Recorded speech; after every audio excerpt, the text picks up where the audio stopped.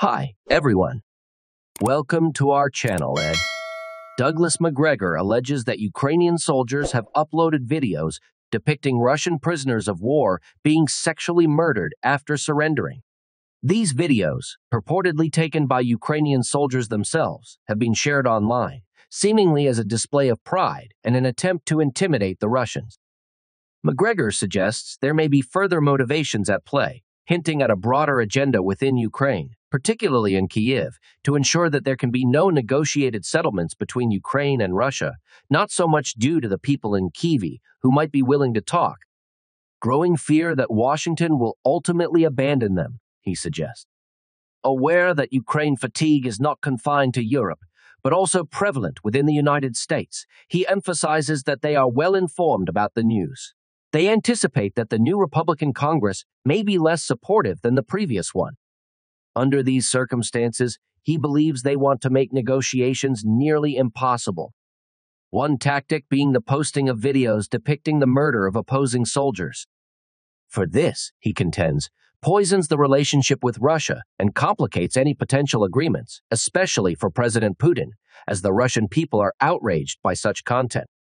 He dismisses previous accusations against Russia, labeling them as propaganda concocted by Ukraine and eagerly spread by Western media.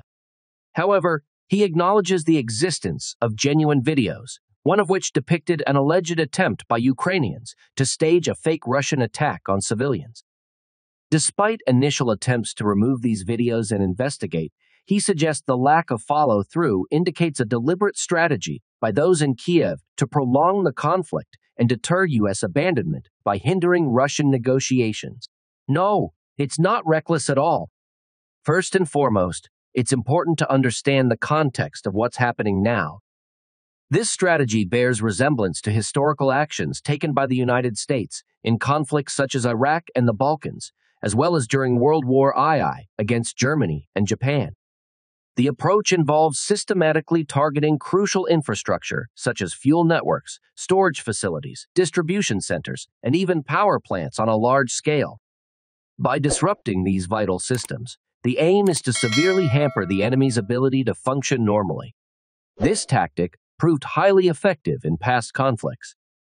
This current strategy in Ukraine is seen as long overdue and forms part of a broader plan to prepare for future offensives. The the attention behind such actions is clear. Why allow the opponent to operate comfortably if there are plans for a significant ground attack? Initially, there were hopes for negotiated settlements. Consequently, the focus shifted towards a strategic defense posture, aiming to conserve forces while preparing for an eventual offensive. With the onset of colder weather, a major offensive may be imminent in the coming weeks. It's essential to note that when discussing these strikes, Instead, they are ordered by the high command of the Russian theater and executed accordingly. The precision of these strikes is a crucial aspect to consider. Modern capabilities allow for incredibly accurate targeting, minimizing collateral damage. This precision was demonstrated during past air campaigns where military targets were struck without harming nearby civilian infrastructure. Similarly, the Russians possess this capability and can execute strikes with great precision, as seen in recent actions near the Polish border. Regarding the nuclear power plant, particular attention is drawn to the facility near Zaporizhzhia, which is heavily guarded by Russian forces. Ukrainian attempts to target this plant reflect a dangerous escalation with a potential to spark a nuclear crisis. However, the Russians are vigilant in protecting such critical infrastructure aiming to prevent any catastrophic outcomes that could arise from such attacks. Yeah, well, it's not merely about preventing Ukrainians from utilizing it. They're actually safeguarding that plant from Ukrainian attacks. What they've done is disconnect the power transmission from these plants to Ukraine, and this action will persist. We need to pause and grasp the cascading impacts of these attacks. They affect every aspect of life in Ukraine, not just transportation and water, but also rural livelihoods, including livestock farming and agriculture.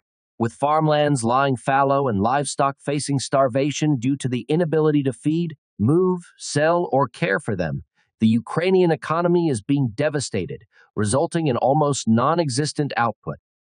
When considering the timing of potential offensives, Ukrainian experts factor in weather and terrain conditions. The Ukrainian black earth topsoil, known for its fertility, can vary in depth from 4 to 15 feet, depending on the location. This soil freezes deeply, posing challenges for movement, whether by truck or tank. While temperatures have recently dropped below freezing, they need to remain so for at least two weeks for substantial freezing to occur. Based on this, a significant offensive could occur around mid December.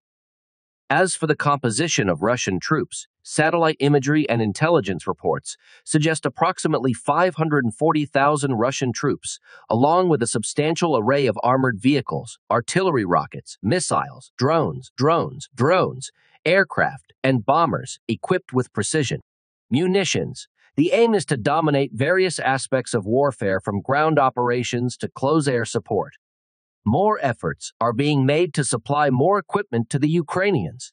However, Ukrainian casualties have been severe, especially in recent months, with reports indicating significantly higher Ukrainian losses compared to Russian casualties. The disparity in casualties and resources underscores the dire situation for Ukraine, with ammunition, spare parts, and fuel in short supply, and many soldiers lacking proper training and experience. Time is no longer on Ukraine's side as the situation grows increasingly desperate. He would begin by presenting a map illustrating the identified concentrations of Russian forces, highlighting their significant firepower and maneuverability. Additionally, he would provide an honest assessment of Ukraine's current fighting capabilities, describing them as very modest. Given the dire conditions faced by the Ukrainian population, including severe shortage of power, water, and fuel, he would argue that it's not surprising the Ukrainian government is advising citizens to evacuate. Even Klitschko, the mayor of Kiev, has urgent residents to seek shelter elsewhere as the capital city faces a mass exodus with millions of Ukrainians heading westward. This could result in a massive humanitarian crisis as refugees pour into neighboring countries, many of which are already overwhelmed. Regarding President Zelensky, he believes that Zelensky would comply with directives to negotiate and accept the reality of the situation.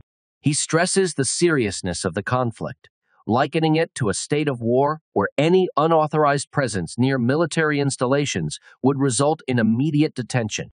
When discussing the American journalist's potential involvement, he speculates that the journalist might willingly share information with the CIA due to his anti Russian stance. However, he emphasizes that the journalist's proximity to a Russian military installation during wartime would likely lead to his apprehension.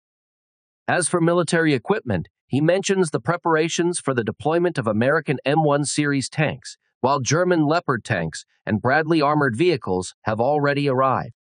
He highlights the lethality of various weapon systems, such as the Kornet missile, which poses a significant threat to tanks from long distances.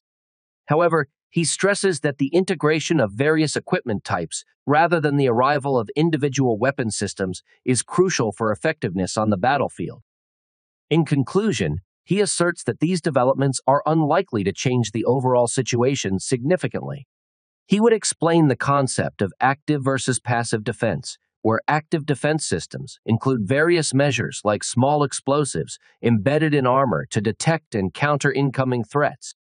However, he notes that most active defense mechanisms only work once, leaving the vehicle vulnerable after being struck. Additionally, there's currently no effective defense against top attack missiles, which pose a significant threat by targeting the thin armor on the turret's top. He mentions ongoing efforts, particularly by the Israelis and Germans, to develop innovative solutions to this challenge. Regarding recent developments in warfare, he acknowledges the emergence of new threats that undermine traditional armor tactics, such as the ability to neutralize mobility on the battlefield. He likens the situation to the introduction of machine guns in trenches during World War II, which fundamentally changed the nature of warfare. He emphasizes that addressing these challenges will require time and innovative solutions, as current military preparations are not adequately adapted to the evolving battlefield. Discussing the Wagner Group, he refers to statements made by Rogozin suggesting deliver a Russian tactics to turn certain areas into meat grinders to systematically destroy Ukrainian forces. He believes this strategy has been advantageous for the Russians as it forces the Ukrainian military into a challenging environment that limits their maneuverability and effectiveness.